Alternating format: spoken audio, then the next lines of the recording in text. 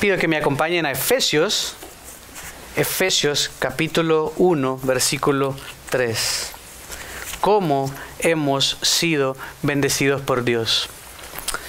El domingo pasado, el domingo anterior, bueno, no estuve, pero hace dos domingos comenzamos a ver esta carta de los Efesios y vimos que era una un tratado, era una adoración a Dios, una alabanza a Dios. Comienza diciendo, bendito sea el Dios y Padre de nuestro Señor Jesucristo, reconociendo que toda bendición viene de Dios y por ende Él es el que merece toda la gloria.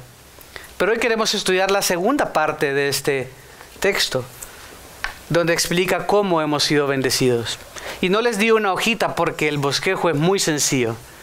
Hemos sido bendecidos por el Señor, dice, primero, con toda bendición espiritual. Segundo, en los lugares celestiales. Tercero, en Cristo. Hay tres componentes, tres maneras en que Dios nos ha bendecido. Pero ¿qué tiene que ver cada una de estas? A veces se dicen a la ligera, pero hay mucho dentro de ella que puede ayudarnos a entender las riquezas que tenemos en Cristo. Esto no se trata de riquezas terrenales, no se, no se trata de tener casas y carros y Porsches y casa en la playa y casa en el lago. No, esto no se trata de esto. Eso, trata de, eso se trata de algo que nada lo va a romper, que no se va a arruinar, que no se va a deteriorar. Y es importante que entendamos la naturaleza de estas bendiciones, porque esto no es un decir, esto no es simplemente como yo digo, oh, José, bendiciones, y capaz no estoy diciendo nada. Es la manera que tenemos los cristianos de saludar a veces, bendiciones, y estoy diciendo como saludos. Realmente no estoy diciendo nada. Pues Pablo aquí sí está diciendo algo a través del Espíritu de Dios, está comunicando cuál es la dimensión, cómo se ven, cómo se sienten, cómo se mastiga, qué sabe, cómo se escucha esas bendiciones. No es un decir, no es un saludo, el saludo fue, lo leímos al principio de Efesios, gracia y paz a vosotros, de parte de Dios nuestro Padre, el Señor Jesucristo. Pero Pablo, sobrecogido por lo que va a decir, emocionado por lo que sabe que tenemos en Cristo, comienza diciendo, bendito sea el Dios y Padre nuestro Señor Jesucristo. ¿Por qué? Porque nos ha bendecido. Y podemos decir, sí, el Señor nos bendijo, sí, el Señor nos ha dado mucho pero lo describe de tres maneras, describiendo por qué nos bendijo. Primero, Dios nos ha bendecido, dice, con toda bendición espiritual. Bendición espiritual puede referirse a dos cosas, que procede del Espíritu, que eso viene de Dios, viene del Espíritu, o que son cosas espirituales en contraposición a las naturales o a las materiales. A menudo esto se interpreta o se hace referencia a que nuestras bendiciones son espirituales y que Dios no ha prometido necesariamente bendecirte físicamente, y esto es cierto, Dios es el que decide bendecir físicamente, a unos más, a unos menos.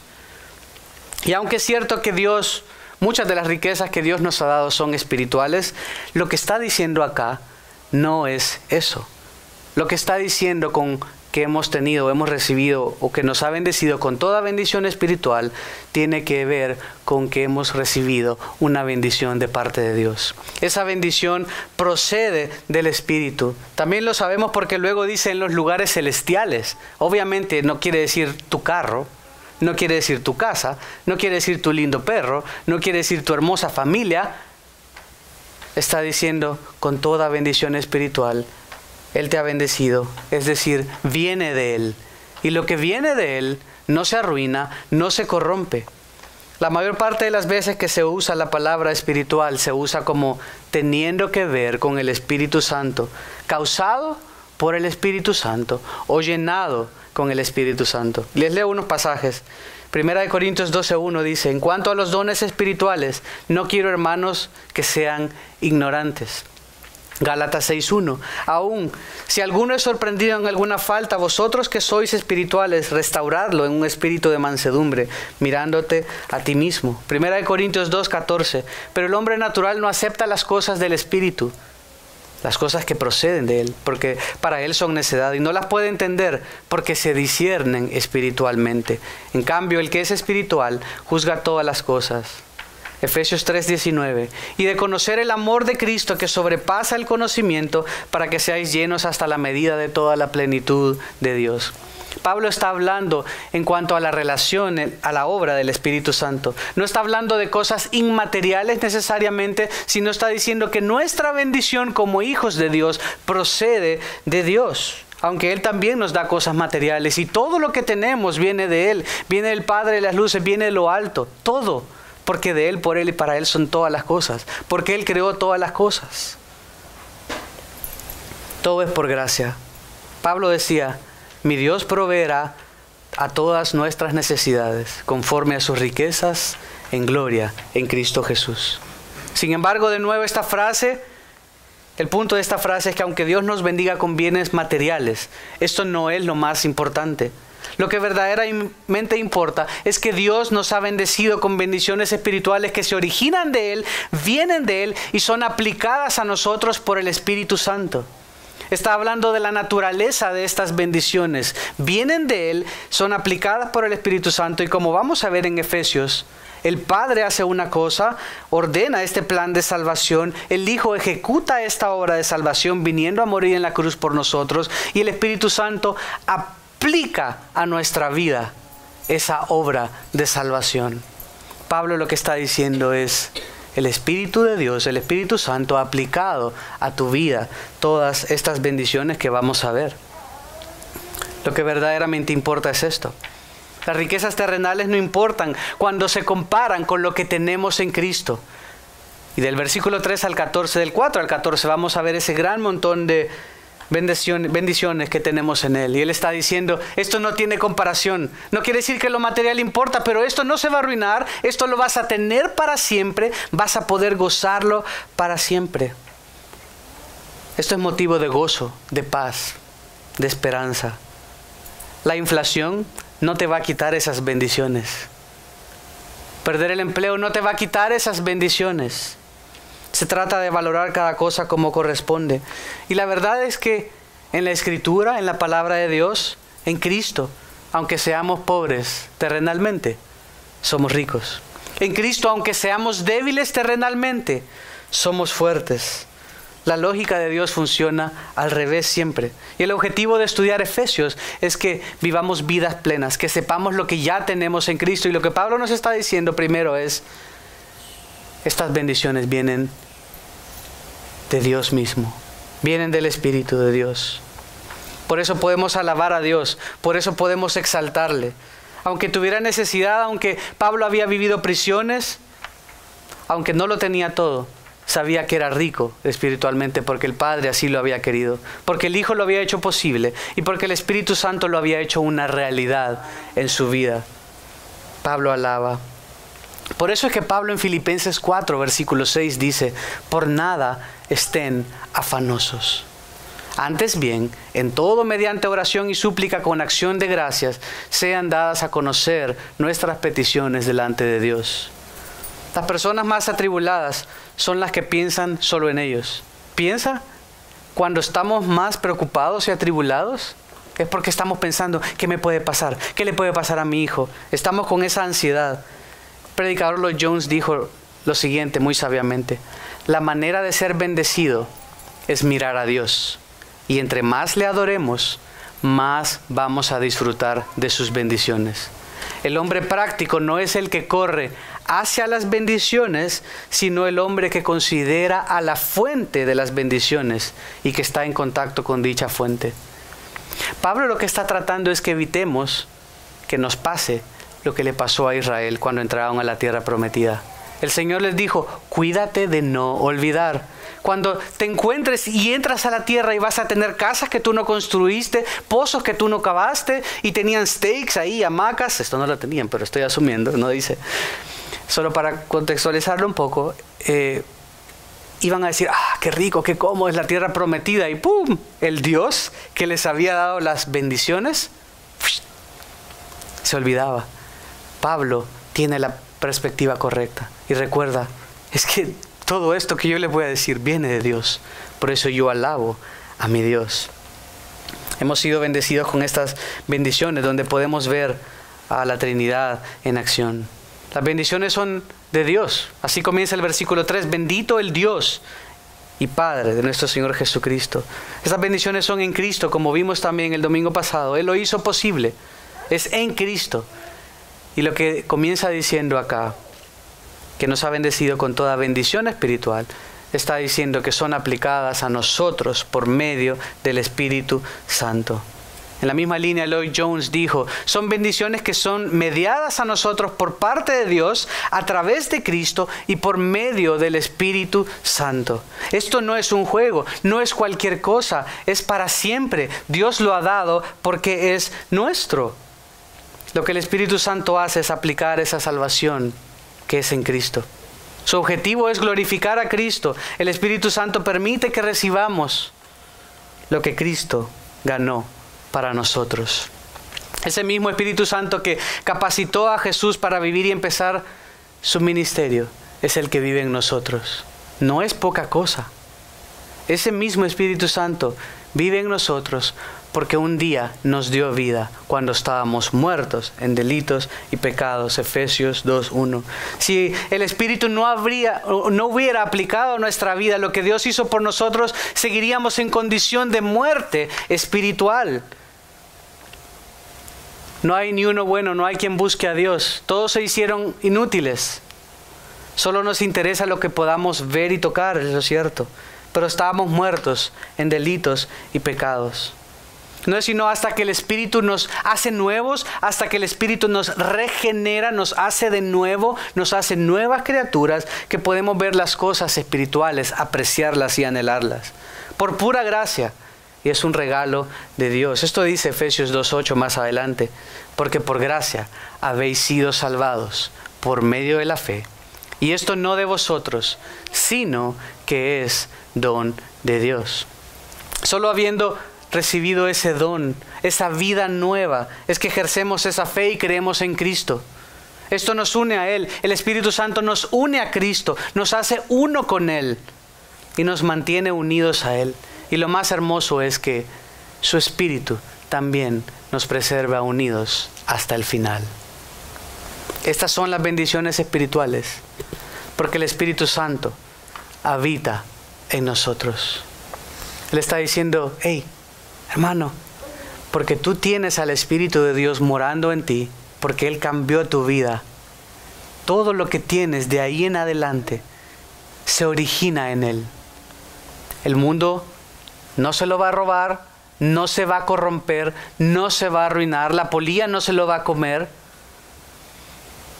Por eso en 1 Corintios 6, 19 Pablo dice, ¿no sabéis que nuestro cuerpo es templo del Espíritu Santo? Que está en nosotros, el cual tenemos de Dios y que no somos nuestros? Ese Espíritu Santo que nos regeneró y aplicó lo que Cristo había logrado a nuestro favor, es el que mora en nosotros.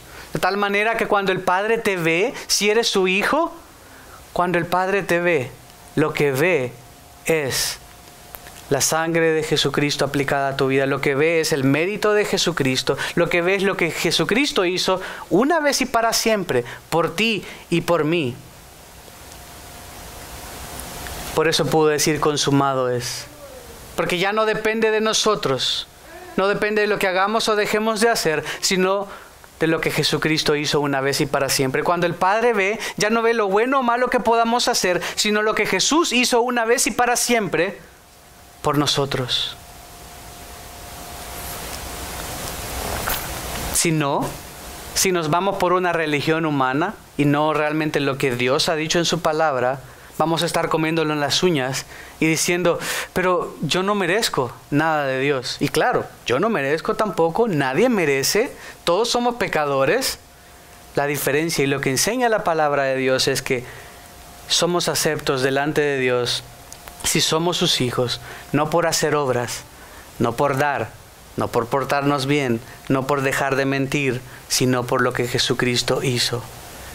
Y ahora liberados de esa culpa, habiendo aceptado el sacrificio, habiéndonos arrepentido, habiéndolo hecho Señor y amo de nuestra vida, obramos, no para conseguir de nuevo, sino porque Él ya consiguió para nosotros.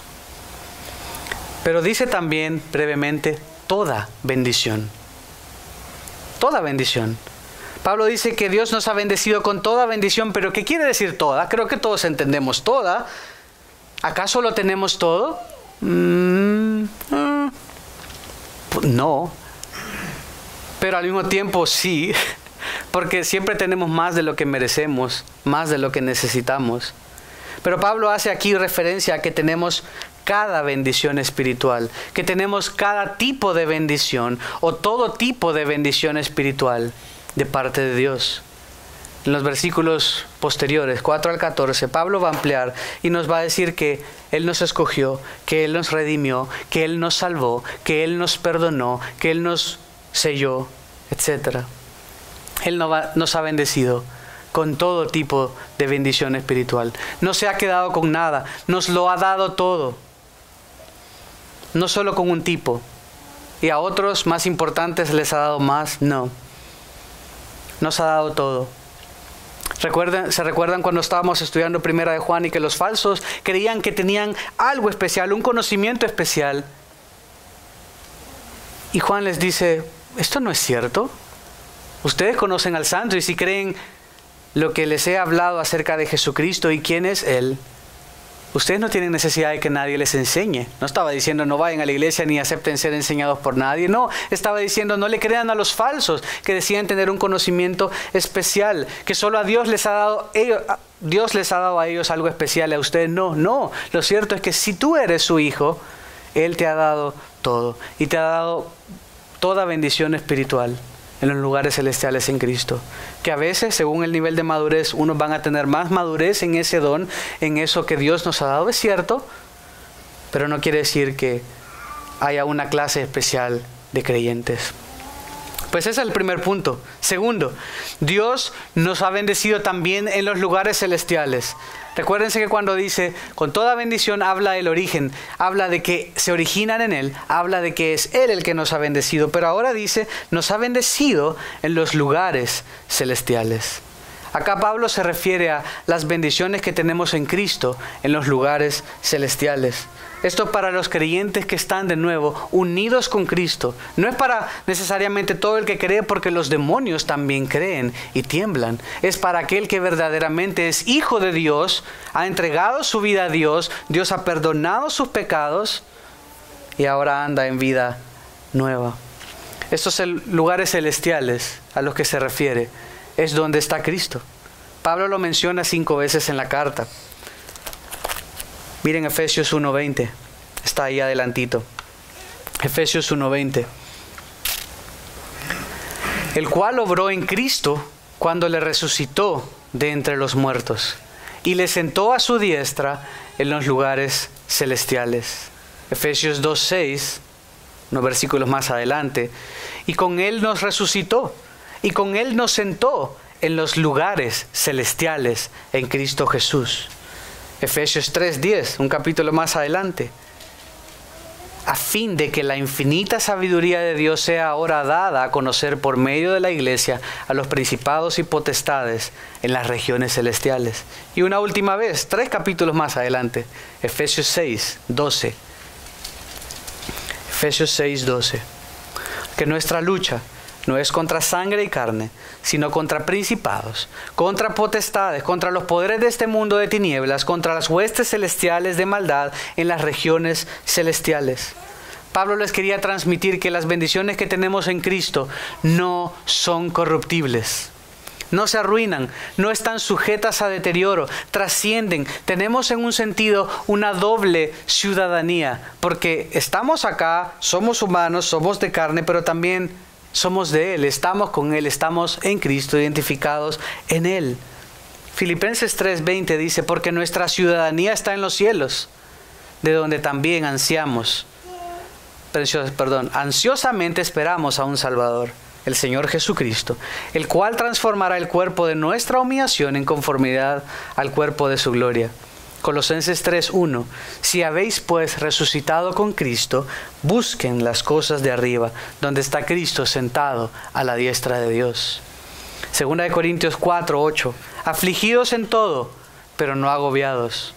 Perplejos, pero no desesperados. Perseguidos, pero no abandonados. Derribados, pero no destruidos Finalmente, capítulo 6, siempre de 2 Corintios 10, dice, como entristecidos, mas siempre gozosos, como pobres, pero enriqueciendo a muchos, como no teniendo nada, aunque poseyéndolo todo.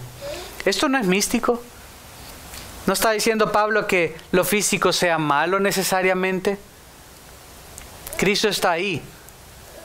Nosotros estamos con Él representativamente, como miembros de su cuerpo. Un día, cuando estemos con Él, estaremos con Él plenamente y en todo sentido. El punto es que tengamos la perspectiva correcta. Las bendiciones vienen de Él, nuestras bendiciones no se van a arruinar. Pablo nos está diciendo de la naturaleza de lo que Dios nos ha dado. Son bendiciones para todos aquellos que obedecen a Jesús. Como Jesús lo dijo en Lucas 9:23, si alguno quiere venir en pos de mí, niéguese a sí mismo, tome su cruz cada día y sígame. Son cosas que trascienden más allá, son bendiciones que tenemos más allá de lo que podamos palpar. Lo cierto es que Dios nos dio mucho, nos ha dado mucho, pero nunca prometió darnos cosas materiales. ¿Saben qué sí prometió? Que en este mundo tendremos aflicción. Esa no es la promesa, eso es lo que iba a pasar. La promesa es, pero yo estaré con vosotros todos los días hasta el fin del mundo. Él no prometió, si tú traes acá mil dólares, llenar tu cuenta o saldar tus deudas. Él no prometió darte un Rolls Royce. Él prometió estar todos los días contigo hasta el fin del mundo. Juan Stott dijo lo siguiente, el Evangelio no promete bendiciones materiales como beneficio central, aunque su poder en la vida de una persona puede crear mayor diligencia y sabiduría que puede conducir a una mayor prosperidad. Pero eso es diferente. El hecho que ejerzamos sabiduría porque conocemos a Dios y nos conducimos más rectamente y más tranquilamente, puede ser que Dios use también esto para bendecirnos pero no es directamente algo que Dios ha, prometido. Y puede ser alguien que esté haciendo todo bien y el Señor decida pasarlo por aflicción, por pruebas, para su gloria. Debemos tener claro en esta línea que sufrir también es parte de la vida terrenal. Es parte de una consecuencia global, masiva del pecado. Muchos creen que los cristianos no deben sufrir. O aquel cristiano que está sufriendo, si Justin tiene mala la pierna, ah, Justin anda en pecado. Una vez alguien me, bueno, no, no me dijo a mí, pero yo, yo escuché a alguien que dijo que el hermano tenía dolor en su pierna. y este otro hermano le dijo, hermano, yo creo que usted debe revisar su andar con el Señor. y aunque a veces podría ser, pero no siempre hay una correlación en ese sentido y no podemos andar buscando fantasmas, ¿no? Hay enfermedad, hay pruebas que son también para la gloria de Dios, para exhibir la gloria de Dios, para que Dios se glorifique, para que Dios se exalte y no siempre va a ser como producto de pecado directo, pero sí en general como consecuencia del pecado en general, porque vivimos en un mundo corrompido. La escritura enseña algo muy diferente en cuanto a la, en cuanto a la naturaleza de las bendiciones. Y algo muy diferente acerca de las dificultades de la vida. Se las leo porque estoy leyendo varios textos, por eso no le pido que me acompañen. Romanos 8, 17 dice, y si hijos también herederos, herederos de Dios y coherederos con Cristo, si en verdad padecemos con Él, a fin de que también seamos glorificados con Él. Muchas veces Dios decide pasarnos por el fuego de la aflicción para moldearnos más. A veces utiliza hermanos que tal vez no nos caen tan bien o que nos dicen algo que no estuvo tan bien para limarnos, para alejarnos, porque nos hace falta, mm, esta, esta partecita está un poco fea, entonces manda un hermanito para que te la elige, ¿no? Filipenses 1:29. A vosotros se os ha concedido por amor de Cristo no solo creer, sino también sufrir por Él Hechos 14, 22. Es necesario que a través de muchas tribulaciones entremos en el reino de Dios. Segunda de Corintios 4, 17. Porque esta aflicción leve y pasajera produce un eterno peso de gloria que sobrepasa toda comparación. Lo cierto es que este Dios, junto con la prueba, si Él decide probar, siempre está con nosotros, siempre nos da una gracia especial para aguantar, para soportar.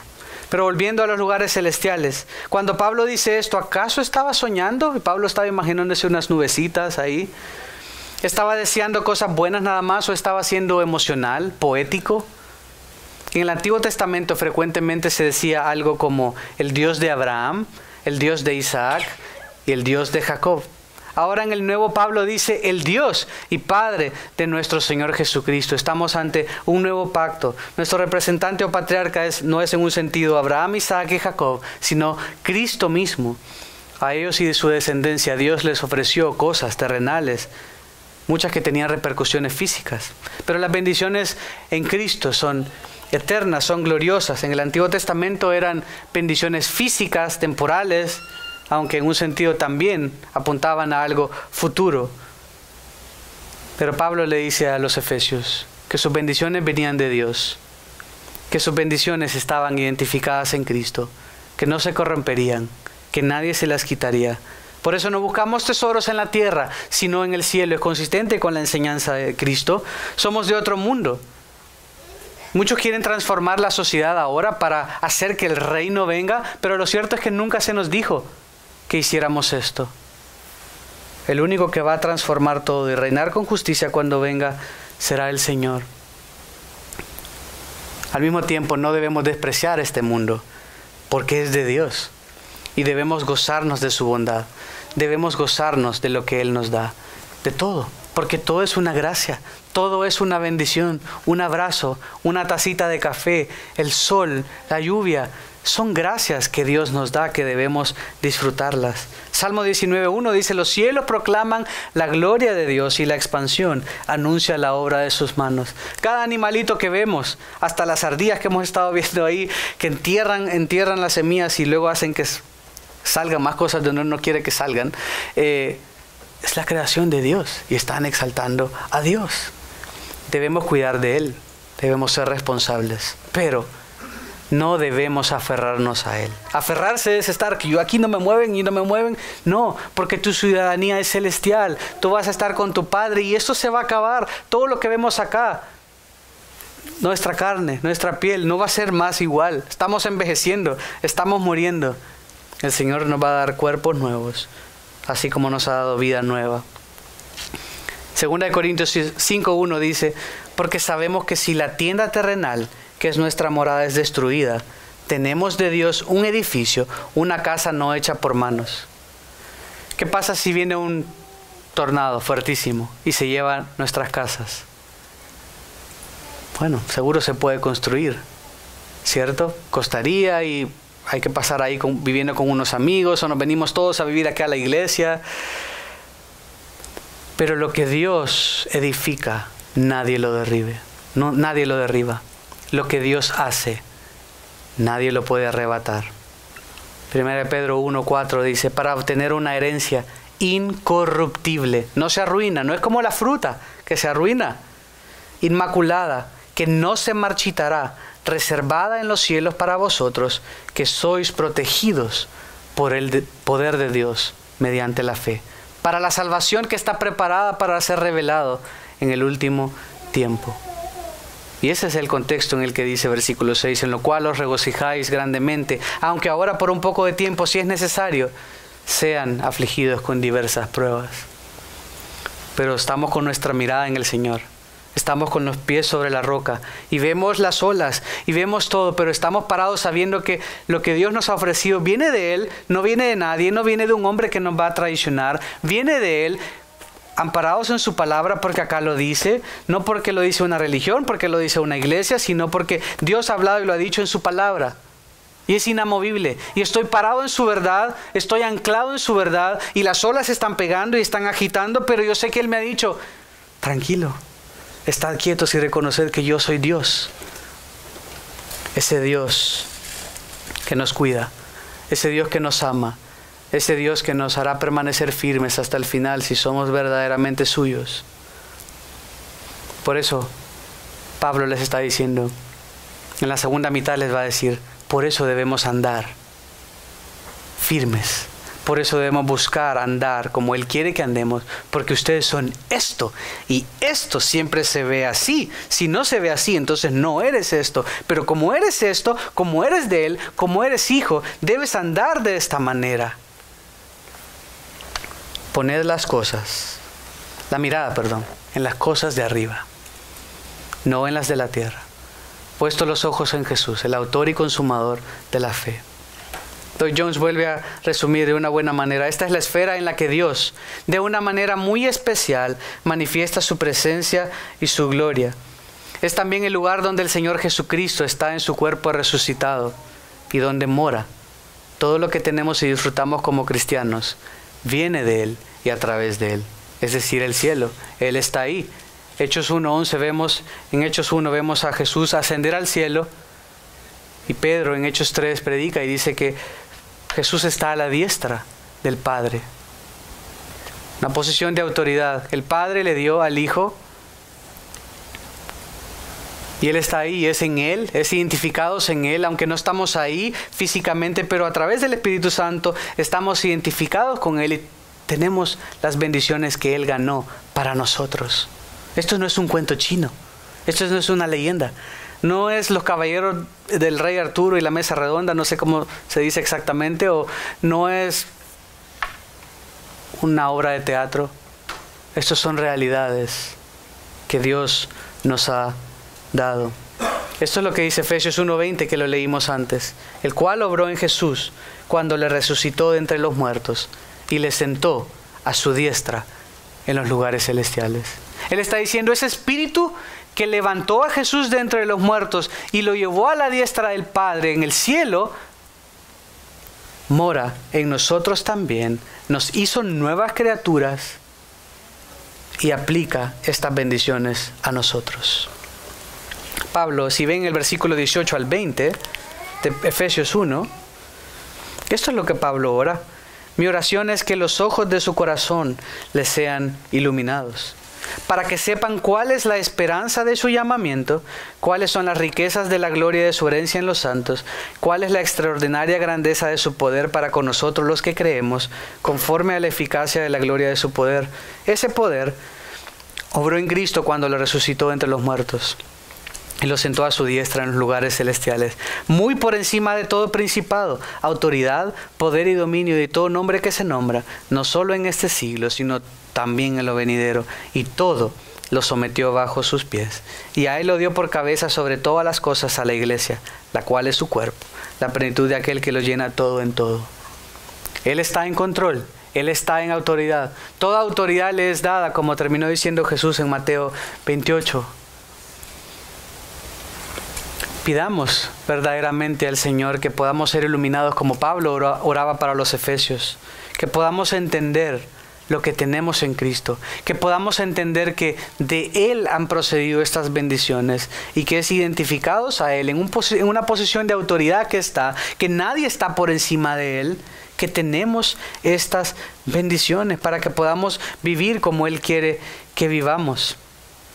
Por eso Pablo decía en 2 Corintios 5:2, en esta morada gemimos, anhelando ser vestidos con nuestra habitación celestial.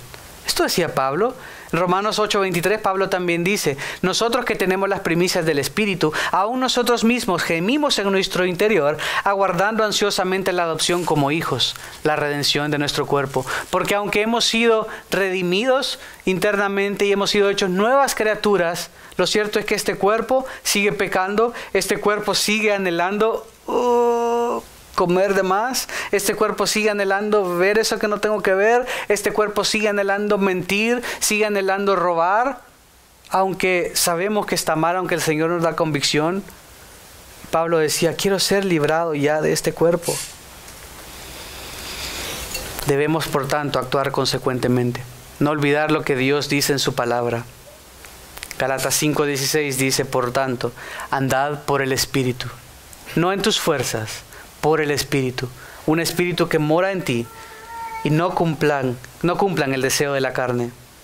Primera de Pedro 2.11. Amados, os ruego como a peregrinos y extranjeros que os abstengáis de las pasiones carnales que combaten contra el alma. Y un versículo que a mí me encanta, Gálatas 2.20. Con Cristo he sido crucificado. Ya no vivo yo, sino Cristo vive en mí. Y la vida que ahora vivo en la carne, la vivo por fe en el Hijo de Dios, el cual me amó y se entregó a sí mismo por mí. En tercer lugar, Dios nos ha bendecido en Cristo. Es en Él únicamente que tenemos esta bendición. Dice, nos ha bendecido Efesios 1.3. Con toda bendición espiritual procede de Él en los lugares celestiales. Es algo que no es corruptible, no se arruina lo que Dios te ha dado. No es una palabra de hombre, es palabra de Dios que siempre se ha cumplido, se sigue cumpliendo y se cumplirá hasta el final. Y es en Cristo. Este de hecho no es el punto menos importante, sino es el que más. Porque si no fuese por Cristo, nada de esto fuera una realidad. En Efesios únicamente se menciona 13 veces esta frase. Miren, 1.1, a los santos que están en Éfeso y que son fieles en Cristo. 1.3, nos ha bendecido con toda bendición espiritual en los lugares celestiales en Cristo. 1.10, de reunir todas las cosas en Cristo. 1.12, fuimos los primeros en esperar en Cristo. 1.20, el cual obró en Cristo cuando le resucitó de entre los muertos. 2.6, nos sentó en los lugares celestiales en Cristo. 2.7, por su bondad para con nosotros en Cristo. 2.10, somos hechura suya, creados en Cristo. 2.13, pero ahora en Cristo Jesús habéis sido acercados por la sangre de Cristo. 3.6, participando igualmente de la promesa en Cristo. 3.11, conforme al propósito eterno que se llevó a cabo en Cristo. 3.21, a Él sea la gloria en la iglesia y en Cristo. 4.32, así como también nos perdonó en Cristo. Es solo en Cristo que hay salvación. Él es el camino, la verdad, la vida. Nadie viene al Padre si no es por Él. Por mucho que puedas creer, lo que creas que es verdad, si no crees en Cristo, estás muerto en tus delitos y pecados. Es solo en Cristo que tenemos estas bendiciones. Es por lo que Él hizo en la cruz, cuando el Espíritu Santo nos hace una nueva criatura y nos da fe para creer, somos incorporados en Cristo, somos puestos, depositados en Él. Primera de Corintios 6, 17 dice, pero el que se une al Señor, es un espíritu con él. Lenguaje similar al que se menciona de un esposo y una esposa. Son dos, pero cuando se unen son una sola carne para el Señor. Romanos 8, 16, 17. El Espíritu mismo da testimonio a nuestro espíritu de que somos hijos de Dios, hijos de Dios. Y si hijos también herederos, herederos de Dios y coherederos con Cristo, si en verdad padecemos con el fin, con Él, a fin de que también seamos glorificados con Él. Al nacer como bebés, nos identificamos con Adán. Adán pecó y por ello heredamos el ser esclavos del pecado. Heredamos esta simiente de maldad. Romanos 5:12 dice, por tanto, como el pecado entró en el mundo por un hombre, Adán, y la muerte por el pecado, Así también la muerte se extendió a todos los hombres, porque todos pecaron. Pues antes de la ley había pecado en el mundo, pero el pecado no se imputa cuando no hay ley. Sin embargo, la muerte reinó desde Adán hasta Moisés, aún sobre los que no habían pecado con una transgresión semejante a la de Adán, el cual es figura del que había de venir. Pero Cristo se hizo hombre, no pecó y llevó sobre él el pecado de los suyos, muriendo para pagar la condena que correspondía a nosotros. Propiciando, si se, recuerdan de primera de Juan, propiciando quiere decir aplacando, satisfaciendo la ira de Dios. Dios necesitaba satisfacer la ira natural de Él contra el pecado, porque el pecado es enemistad contra Dios, es rebelión en contra de Dios. Es lo que dice Romanos 3:23, por cuanto todos pecaron, no alcanzan, es imposible para ellos alcanzar la gloria de Dios. Pero versículo 24, siendo justificados gratuitamente, esto quiere decir gracia, por su gracia, por medio de la redención que es en Cristo Jesús, a quien Dios exhibió públicamente como satisfacción, propiciación por su sangre a través de la fe. Dios pasó por alto los pecados cometidos anteriormente. Y 2 Corintios 5, 18 dice, y todo esto procede de Dios, quien nos reconcilió consigo mismo. ¿Solo así? No, por medio de Cristo. Y nos dio el misterio de la reconciliación. Fuera de Cristo es imposible ser reconciliados con Dios. Es imposible accesar a Dios. Pero en Cristo somos reconciliados con Dios.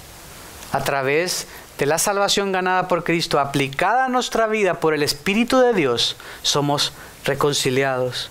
Porque Él entró una vez y para siempre al trono de la gracia, como dice el libro de los Hebreos, para que nosotros no tengamos que ofrecer sacrificios ni vivir una vida santa para alcanzar, sino que Él lo hizo por nosotros.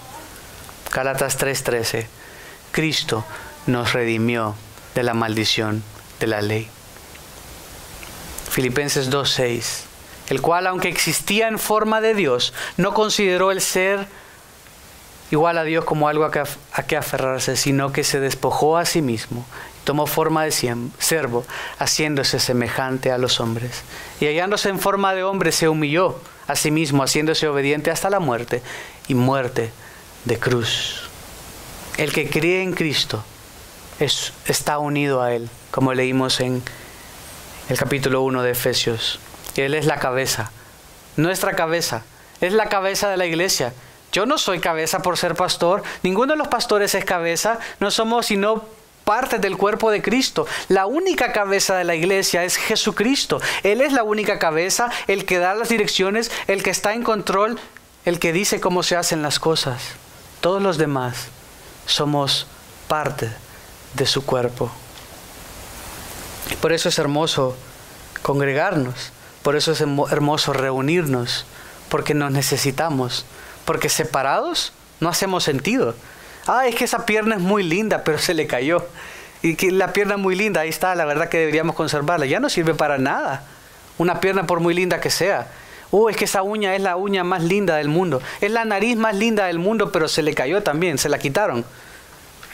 Ya no sirve de nada la nariz fuera del cuerpo. Nos necesitamos. Necesitamos estar juntos. Necesitamos amarnos. Necesitamos la convivencia, el amor, el estimularnos mutuamente al amor y las buenas obras para, para vivir, para ser moldeados, para crecer en nuestra santificación. El hecho de que Efesios 1.22 dice que Jesús todo lo sometió bajo sus pies, que lo dio por cabeza sobre todas las cosas a la iglesia, era un concepto nuevo para los efesios. Ellos adoraban a Artemisa. Otro nombre para Artemisa era Diana, Diana de los Efesios. Era la diosa local en la tierra, era una diosa muy importante, tanto, que, tanto así que el emperador decidió escoger diferentes ciudades donde él iba a hacer un templo para él, porque se adoraba también al emperador. Y decidió no hacerlo en Éfeso, porque la, el templo de Diana y el culto a Diana era tan grande que reñiría en contra de él. Para los efesios, todo era la esfera terrenal. Pablo pide a los cristianos que sepan lo que tienen en Cristo, que no era para nada lo que estaban acostumbrados.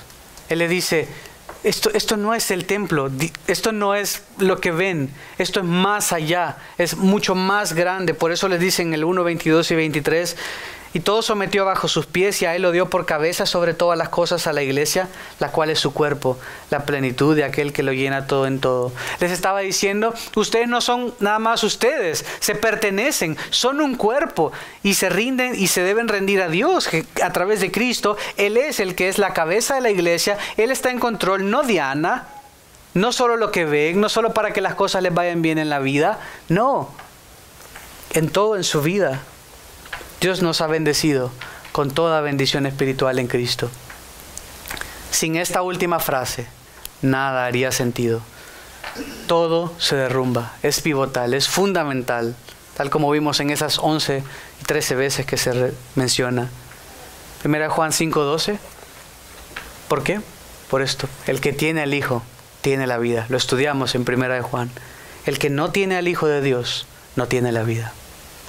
Si tú tienes al Hijo de Dios, si es tu Señor, si te has arrepentido de tus pecados, si crees en Él, si eres, si esto es verdad, entonces eres hijo de Dios. Pero si crees en una deidad, en un ser, y tratas de hacer lo bueno, pero no crees en Jesús y Él no es tu Señor, y Él no te ha salvado y Él no te ha perdonado, pues es imposible que tengas vida, por lo que dijimos antes de 14, Juan 14, 6. Es el camino, la verdad y la vida. Es imposible venir al Padre porque por medio, por, por medio de alguien más, porque es Él el medio que el Padre escogió para salvar. Es una gracia común también. Dice Mateo 5:45, para que seáis hijos de vuestro Padre que está en los cielos, porque Él hace salir su rol, su sol, sobre malos y buenos, y llover sobre justos e injustos. Eso es una gracia particular, específica para los que son suyos. Es lo anterior, que él, haga salir el sol, que Él haga dar la lluvia, que Él haga que veamos a los pajaritos, que Él haga que disfrutemos una taza de café. Eso es una gracia común. Pero una gracia particular, una gracia específica, una gracia salvífica, es la que Él ha derramado para que aquellos que se arrepienten de sus pecados puedan alcanzar salvación. Tanto el malo como el bueno, dijo Lloyd Jones, el injusto como el injusto, perdón, el injusto como el justo, disfrutan bendiciones comunes, pero nadie, sino solo los cristianos, disfrutan de estas bendiciones especiales. Las bendiciones espirituales en los lugares celestiales, en Cristo. Los impíos, aquel que no cree en Dios, también puede disfrutar bendición de parte de Dios, pero no pueden disfrutar lo que nosotros disfrutamos y disfrutaremos. Cristo es el primero y el último, el alfa y la omega, el principio y el fin. Él hizo posible todo. Somos salvos por Él, somos bendecidos por Él. Es únicamente a través del sacrificio que Él hizo una vez y para siempre que tenemos acceso ante Él. ¿Y saben qué es lo mejor de todo? No tenemos necesidad de agregar algo más. Tal vez si te dan una carnita, un pollito, eh, un vaso de agua, algunos le echan sal, otros azúcar, otros lo que sea. Pero aquí no tienes que agregar nada. Está perfecto. Consumado es. Si tienes a Cristo, tienes todo. ¿Por qué? 1 Timoteo 2.5. Porque hay un solo Dios y un solo mediador entre Dios y los hombres, Cristo Jesús hombre. Colosenses 1.19. Porque agradó al Padre que en Él habitara toda la plenitud. Colosenses 2.9. Porque toda la plenitud de la deidad reside corporalmente en Él. Somos propensos a olvidar todo esto. No olvidemos que el Verbo se hizo carne, habitó entre nosotros, vimos su gloria. Ese Jesús que es Salvador, ese, ese Jesús que se goza en salvar, ese Dios que se goza en salvar, enviando un Salvador, enviando a Jesús a morir por nosotros.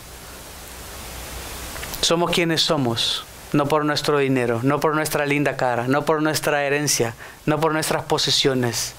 Somos lo que somos, si somos de Él, porque estamos en Cristo. Nada más hace sentido. Todo lo demás pasa. La belleza pasa. Solo en Él todo esto es posible. Sin Él no somos nada. En Él lo tenemos todo. En Cristo tenemos todo. No temamos para el día de hoy. No temamos el día de mañana. Vivamos confiados, sabiéndonos ricos espiritualmente. Vivamos en paz. Vivamos en gozo sabiendo que nuestras bendiciones proceden del Señor. Están en Él mientras Él está sentado a la diestra de Dios. No se corrompen, no se van a arruinar, no es que se le va a olvidar. Él te ha bendecido. Un fuego no lo puede quemar. ¿Qué tal si tú tienes un documento de valor en un banco? Porque ahí lo quieres tener más seguro, más seguro, y roban el banco. Chao. ¿Cierto? Tal vez era un título de propiedad, imagínense que cayó una bomba atómica y todo, y tú lograste escapar y se perdió. No hay más. Nada ni nada puede separarnos del amor de Dios que es en Cristo Jesús. Y la vida ni la muerte, ni lo alto ni lo profundo. Nada, nada es nada. Estamos seguros en Él. Lo que Él nos ha dado es especial, es eterno, tiene valor. No se va a arruinar. Lo que sea que tengamos se va a arruinar. pero lo que Él nos ha dado es precioso y es más importante que cualquier cosa terrenal que Él nos pueda haber dado. Terminaremos orando y luego terminaremos cantando. Padre, gracias por la bendición que tenemos de ser tus hijos. Gracias Señor porque en ti estamos seguros. Gracias porque eres nuestra ancla firme y fuerte. Gracias Señor porque separados de ti nada podemos hacer. Señor, ayúdanos a confiar en ti en todo lo que hagamos, Señor. Ayúdanos a siempre reconocer lo que tú nos has dado en Cristo y vivir de, de esa manera. Te alabamos y te adoramos, Señor. Gracias por habernos salvado y habernos dado esperanza. En el nombre de Jesús oramos. Amén.